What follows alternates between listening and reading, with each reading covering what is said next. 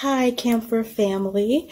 Um, my name is Idella, and I'm here to bring you another message from our Sunday school team. I'll let you guys know that we do have further plans to reach out to our youth and our Sunday school team. We will be um, planning two um, outreaches per month going forward.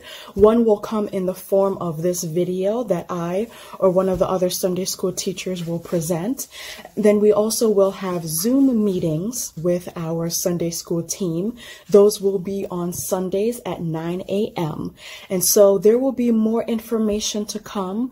We will be reaching out to parents as well as youth through email, text, um, through church announcements, um, through the church bulletin. And so keep an eye and an ear out for upcoming information as we further our Sunday school plan. We definitely want to keep our youth and our entire Camphor family involved and engaged and active. And so thank you all for your time and for listening.